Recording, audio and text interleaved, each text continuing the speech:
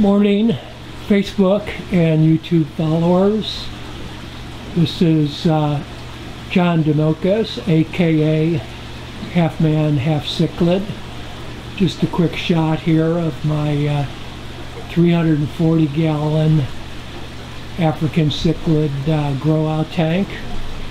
Uh, as I'm transitioning from predator haps back to colorful uh, regular haps and peacocks, I'm uh, growing them out in this uh, 340 gallon uh, aquarium. That's a separate video getting into some of the uh, exciting species that uh, I've uh, discovered from various local breeders. Anyway, we all want to make our aquariums uh, more exciting. One of the ways to do it, of course, is uh, having colorful, healthy fish. But in this video, I'm going to talk about something a little bit uh, different that uh, that uh, I really uh, enjoy.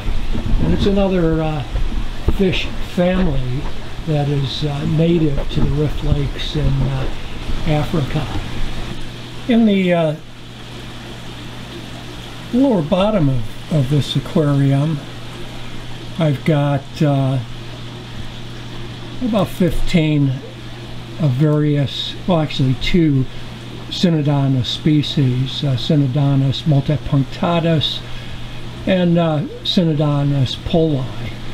And uh, their major uh, hangout is this uh, large piece of, uh, of uh, Texas Holey Rock. Anyway, I just threw some food in there and you can see they're starting to uh, come out and scavenge for uh, the one millimeter pellets that I put into the tank, but so are the uh, uh cichlids. But uh,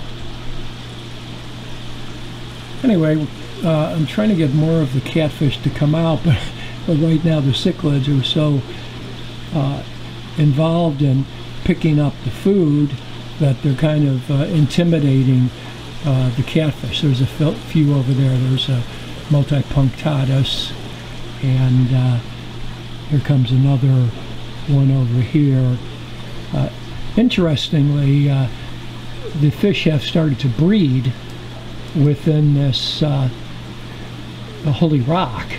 So a number of the the specimens that I have in here, you can see one there over in the distance, uh, are actually uh, the offspring of uh, some of the catfish that uh, I have uh, in this uh, aquarium.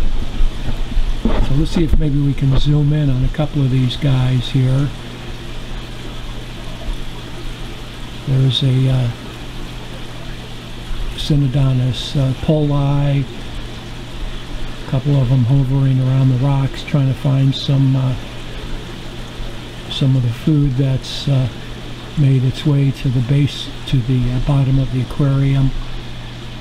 Uh, you can see I have a lot of uh, blue colored fish growing in this tank, one of my favorite colors. Uh, the Placidochromis white lips and also star sapphire.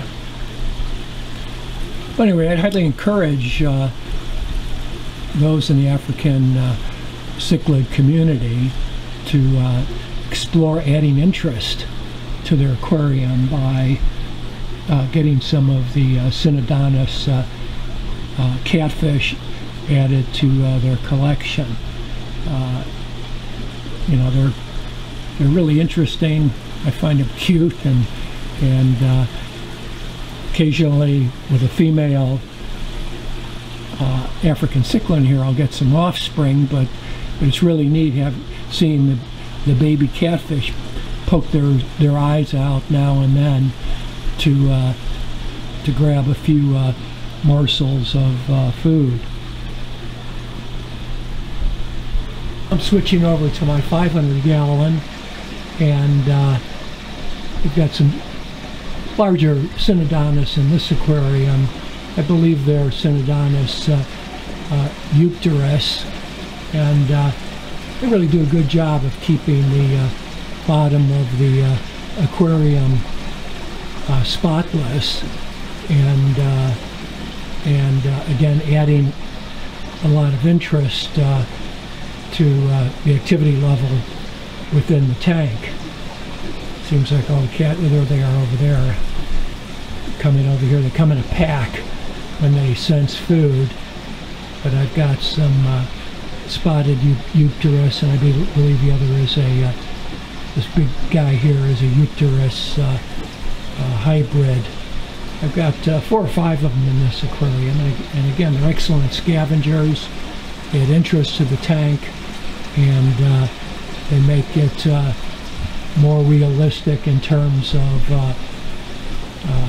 being a a uh, a tank that's uh, uh, you know represents the species that are in the uh, the lakes in uh, in uh, the Rift Valley.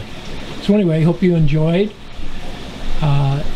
Again, highly encourage you to consider some of these neat catfish in your stocking out your African tanks.